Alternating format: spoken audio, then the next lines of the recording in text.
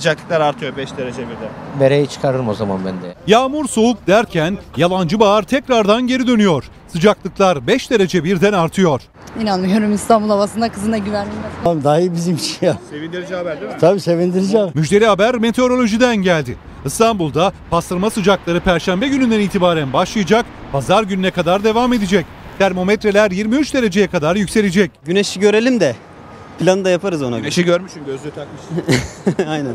Artacak mı? Evet. Ha, daha iyi o zaman. Daha rahat Yalancı gezeriz. bahar geliyor. Evet daha rahat gezeriz biz motorcular için. Hafta sonu eğer hava güzel olursa kamplara, Olacak, kamplara, meteoroloji açıkladı. kamplara gideriz artık. Gelen sıcaklıkla beraber mega kentte rüzgar da etkisini gösterecek.